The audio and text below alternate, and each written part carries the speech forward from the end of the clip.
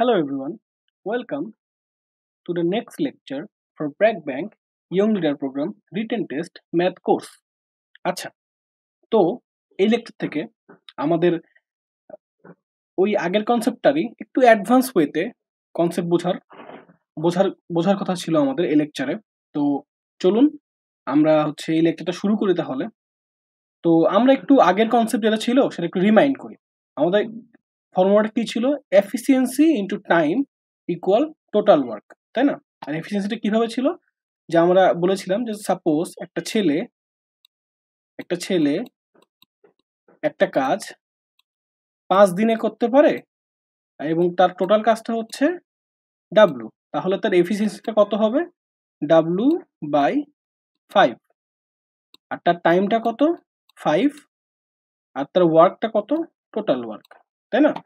আর আরেকটা ছেলে যদি সেই সেম কাজটা যদি করতে করতে যদি ছয় দিন সময় নেয়, তাহলে তার কাজটা কত হবে? তার কাজটা হবে হচ্ছে ডাব্লু টোটাল কাজটা তো ডাব্লুই থাকল বিকজ সেম কাজ। আর এফিসিয়েন্সি কত হবে? এফিসিয়েন্সি হবে হচ্ছে এফিসিয়েন্সি হবে হচ্ছে ডাব্লু বাই সিক্স বিকজ সে ছয় দিনে কাজটা করছে। এবং তার টাইমটা কত হবে? ছয়। আচ্ছা এখন একটা জিনিস চিন্তা করুন তো। এই যে এফিসিয়েন্সি এটা কি? এটা কি আসলে হচ্ছে একটা পারফরমেন্স মানে এটা এটা যেহেতু দ্বিতীয় ছেলের এফিসিয়েন্সি ডাব্লু বাই ফাইভ তাহলে এটা কি? এটা আলটিমেটলি দ্বিতীয় ছেলের পারফরমেন্স তাই না? পারফরমেন্স আর এটা হচ্ছে প্রথম ছেলের পারফরমেন্স পারফরমেন্স আচ্ছা এখন হচ্ছে আমরা এই পারফরমেন্সটা আসলে কিসে বের করেছিলাম? মনে আছে আপনাদের? আমরা বের করেছিলাম হচ্ছে এদের per day per day work performance measure করে বের করেছিলাম। লাইক এই ছেলেটার একদিনে কতদিনে পারফর্ম করে এবং এই ছেলেটা, এই এই ছেলেটা একদিনে কতটুকু পারফর্ম করে? আচ্ছা এখন একটা জিনিস চিন্তা করুন তো। তারা দুজনে কি মানে একটা দিনে কত ঘণ্টা হয়? একটা দিনে হয় হচ্ছে, একটা দিনে চব্বিশ ঘণ্টা হয়, তাই না? একটা দিনে চব্বিশ ঘণ্টা হয়। তারা কি আলটিমেটলি চব্বিশ ঘন্টায় কাজ করে? এটা কি পসিবল একটা মানুষের পক্ষে। এটা কিন্তু কখনো পসিবল না। তাহলে আলটিমেটলি আমি ধরে নিই, এই ছেলেটা দিনে ছয় ঘণ্টা কাজ করে, এই ছেলেটাও দিনে ছয় ঘণ্টা কাজ করে, তাই না? এখন এখন একটু চিন্তা করুন যে, এই ছেলেটা দিনে ছয় ঘণ্টা কাজ করতেছে, এই ছেলেটাও দিনে ছয় ঘণ্টা কাজ করতেছে বাট এর লাগতেছে কত? এর লাগতেছে কি পাঁচ দিন, আর এর লাগতেছে হচ্ছে ছয় দিন। তাহলে কি এই ছেলেটার পারফরমেন্সটা বেটার তাই না? এই ছেলেটার পারফরমেন্সটা বেটার আচ্ছা এখন আরেকটা সিনিয়র একটু চিন্তা করুন।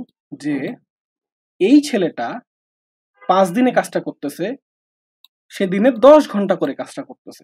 দশ ঘণ্টা করে করতেছে দেখে পাঁচ দিনে কাজটা করতেছে। আর এই ছেলেটা দিনে এই ছেলেটা দিনে চার ঘণ্টা কাজ করতেছে। চার ঘণ্টা কাজ করে এই ছেলেটা কাজটা ছয় দিনে কমপ্লিট করতেছে। এখন যদি আমি এদের পারফরমেন্সের কথা চিন্তা করি এখন তাহলে কি আমি পার ডেতে পার ডেতে মানে এদের হচ্ছে একদিনে যে কাজটা করে, সেইটা দিয়ে কি আমি হচ্ছে এদের এফিসিয়েন্সিটা কি অ্যাকচুয়ালি ভালোভাবে বের করতে পারব? কারণ এই ছেলেটা দশ ঘণ্টা কাজ করতেছে বলে কিন্তু পাঁচ দিনে কাজটা শেষ করতেছে। তাহলে এ একদিনে একদিনে যে কাজটা করতেছে, সেটা কি এর পারফরমেন্স বলা যাবে? কারণ এ তো হচ্ছে দশ ঘণ্টা ধরে কাজ করতেছে একদিনে। কিন্তু এ কিন্তু একদিনে মাত্র চার ঘণ্টা করে কাজ করতেছে। তাহলে একটা জিনিস একটু একটু চিন্তা করি দেখেন যে এই ছেলেটা পাঁচ দিনে কাজটা শেষ করতেছে এই যে এই ছেলেটা। পাঁচ দিনে কাজটা শেষ করতেছে, দশ ঘণ্টা করে কাজ করে। তাহলে আলটিমেটলি এই ছেলেটা টোটাল কত ঘণ্টা কাজ করতেছে দেখেন তো? কাজটা টোটাল কাজ করতেছে দশ দিনে, সে হচ্ছে পঞ্চাশ ঘণ্টা, তাই না? ফিফটি আওয়ার্স মানে এই ছেলেটা টোটাল কাজটা শেষ করতে পঞ্চাশ ঘণ্টা সময় নিচ্ছে। কিন্তু এই ছেলেটা ছয় দিনে কাজটা শেষ করতেছে, কিন্তু এই কাজ করতেছে কতক্ষণ? চার ঘণ্টা করে। তাহলে আলটিমেটলি এ টোটাল কতক্ষণ কাজটা করতেছে? চার, ছয়, চব্বিশ ঘণ্টা। তাই না? তাহলে এই ছেলেটার কাজটা শেষ করতে চব্বিশ ঘণ্টা লাগতেছে আর এই ছেলেটা লাগতেছে পঞ্চাশ ঘণ্টা। তাহলে এখন ভাবুন তো, আসলে পারফরমেন্সটা কার বেটার এর পারফরমেন্সটা আলটিমেটলি বেটার না? বিকজ এ কিন্তু কম সময় কাজটা শেষ করতে পারতেছে আর এর কিন্তু সময় বেশি লাগতেছে পুরো কাজটা শেষ করতে। তাহলে আমি যদি এখন ওই একদিনের কাজ করার উপরে বেস করে যদি হচ্ছে আমরা এফিসিয়েন্সি চিন্তা করি, তাহলে কি আসলে সেটা সঠিক হবে? হবে না কিন্তু। বিকজ এই ছেলেটা কাজ যদিও পাঁচ দিনে শেষ করতেছে, কিন্তু এই ছেলেটা অনেক বেশি সময় ধরে কাজ করতেছে। বাট এই ছেলেটা কম সময়ে কাজটা শেষ করতে পারতেছে। যদিও সাত দিন বেশি লাগতেছে। তাহলে আমাদের এই ক্ষেত্রে আসলে এফিসিয়েন্সিটা কীভাবে বের করা উচিত? এই ক্ষেত্রে যদি আমরা এখন চিন্তা করেন, চব্বিশ ঘণ্টা লাগে এর এর লাগে পঞ্চাশ ঘণ্টা। তাহলে এরা আসলে এক ঘন্টায় ওয়ান আওয়ার এক ঘন্টায় কতটুকু কাজ করতেছে, সেইটা যদি বের করতে পারি তাহলে কি আমরা আলটিমেটলি এদের পারফরমেন্সটা পাবো না? আলটিমেটলি কি এদের পারফরমেন্সটা পেয়ে যাব? তাহলে আমাদের তখন কি করতে হবে? আমাদের তখন তাহলে এই যে কত ঘণ্টা করে কাজ করতেছে আর কতদিন সময় লাগতেছে, এই দুটোকে গুণ করতে হবে।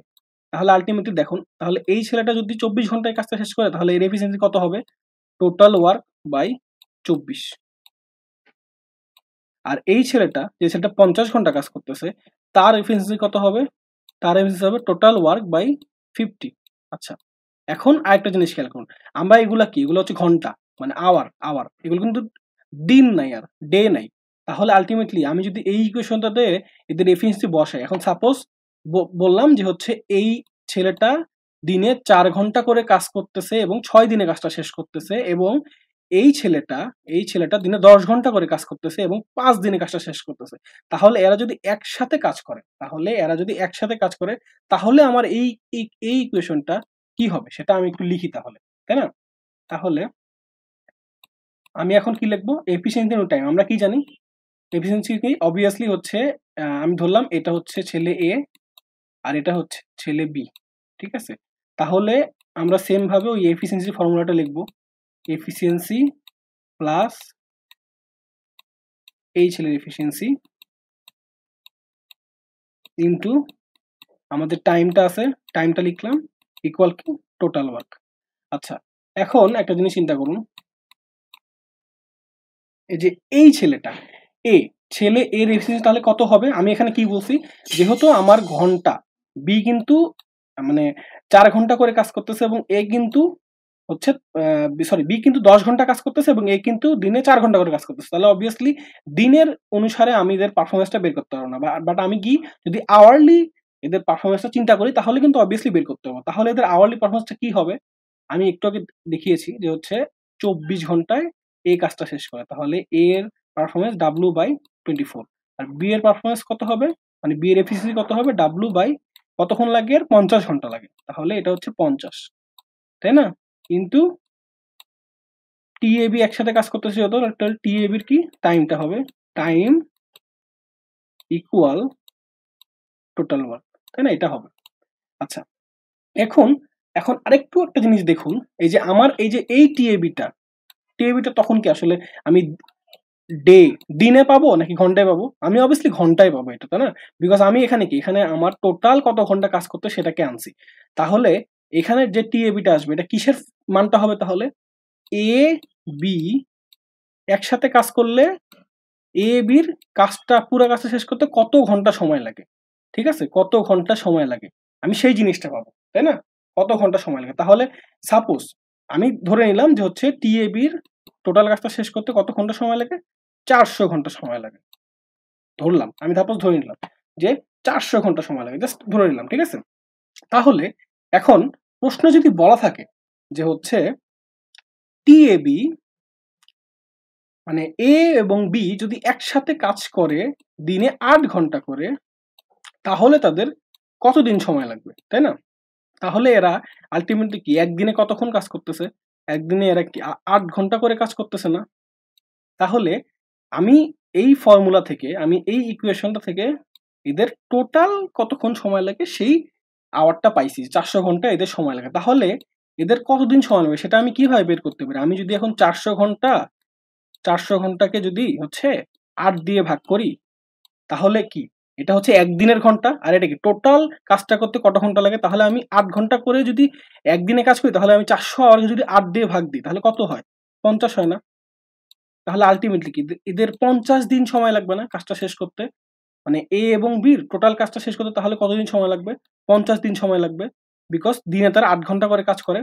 তো আপনি কি বুঝতে পেরেছেন জিনিসটা কি হচ্ছে? জিনিসটা হচ্ছে টিএবির আমি ভ্যালু তাহলে ওই যখন ঘণ্টার ইয়েটা দেওয়া থাকবে, ঘণ্টার ক্যালকুলেশন দেওয়া থাকবে যখন এ এ এবং বি এরা ডিফারেন্ট টাইমস অফ আওয়ার কাজ করে একটা দিনে বিকজ আগে যে কোশ্চেনগুলো ছিল ওগুলোতে আমরা দিনের হিসাবে পারফরমেন্স নিয়েছি। কারণ কি?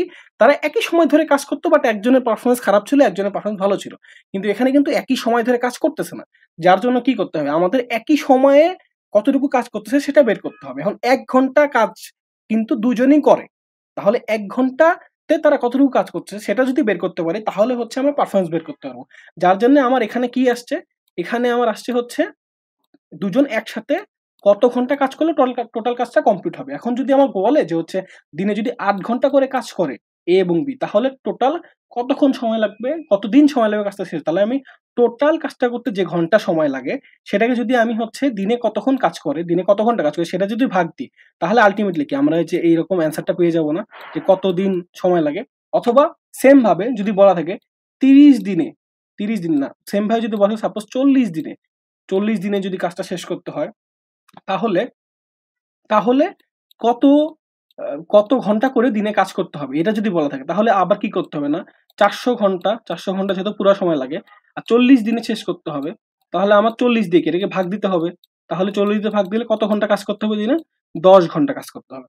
তো এইটা হলো বেসিক্যালি এরকম একটু অ্যাডভান্স কনসেপ্ট আগেরটাতে আগেরটাতে আমরা কি দেখেছিলাম? আগেরটা দেখেছিলাম দুইজন যদি একসাথে কাজ করে, তাহলে যদি সেম সময় ধরে কাজ করে, তাহলে হচ্ছে আমরা কীভাবে ক্যালকুলেট করতে পারি? বা যখন ঘণ্টার জিনিসটা চলে আসলো যখন যদি দিনে যদি সেম অ্যামাউন্ট অফ টাইম মানে সেম সময় কাজ না করে তারপর একজন চার ঘণ্টা করতেছে, একজন দশ ঘণ্টা করতেছে, তাহলে কিন্তু ওই একদিনের কতটুকু কাজ করতেছে, এটাতে কিন্তু আপনারা পারফরমেন্সটা মেজার করতে পারতেছেন না। আই গেস আমি বুঝাতে পারছি কেন পারতেছেন না। ঠিক আছে? তো আমরা তখন কি করব? আমরা পার ঘন্টায় কতটুকু কাজ করতেছে, সেই জিনিসটাতে এফিসিয়েন্সি বের করব। এবং, আর এই সাইডে আমরা তাহলে কি পাবো? টোটাল কত ঘণ্টা কাজ করতেছে, সেই টাইমটা পাবো। দেন যদি বলা থাকে যে হলো হচ্ছে কতদিন কাজ করতেছে, তাহলে টোটাল যে ঘন্টাটা পাইছি, সেটাকে আমরা হচ্ছে একদিনে কত ঘণ্টা কাজ করবে, তারা দুজন একসাথে কাজ করলে, সেটা যদি প্রশ্নে দেওয়া থাকে, সেটাতে ভাগ দেবো, তাহলে আমরা দিনটা পেয়ে যাব। আর যদি দিনটা বলা থাকে যে সাপোজ তিরিশ দিনে কাজটা কমপ্লিট করতে হলে তাদের কত ঘণ্টা কাজ করতে হবে, তাহলে টোটাল যে ঘন্টাটা আছে সেটাকে আমরা তিরিশ দিনে ভাগ দেবো। তাহলে কিন্তু আমরা পেয়ে যাব যে হলো হচ্ছে টোটাল কত ঘণ্টা কাজ করতে হয় তাদের। ঠিক আছে? তো এই ছিল আমাদের অ্যাডভান্স কনসেপ্টটা এটা আই গেস আপনারা বুঝতে পেরেছেন বাট আমি যদি ম্যাথটা করি, তাহলে ম্যাথগুলো করি, তাহলে হয়তো আরও একটু বেটার ভাবে বুঝতে পারবেন। সো এই লেকচারটা আমি এইটুকুই রাখছি। আজকে কোনো ম্যাথ করাচ্ছি না বিকজ আপনারা একটু এই জিনিসগুলোকে আমি যখন বলতেছি, তখন একটু প্র্যাকটিক্যালি জিনিসগুলো চিন্তা করেন। তাহলে কিন্তু অবভিয়াসলি জিনিসটা একদম আপনাদের মনের ভিতরে বসে যাবে। মাথার ভিতরে একদম কিন্তু একদম বসে যাবে জিনিসগুলো, ঠিক আছে?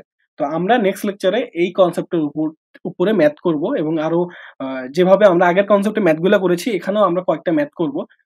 দেন তারপর আমরা আরেকটা কনসেপ্ট আছে, সেই কনসেপ্টে চলে যাব, ঠিক আছে? তো তাহলে আজকের জন্য এই পর্যন্তই।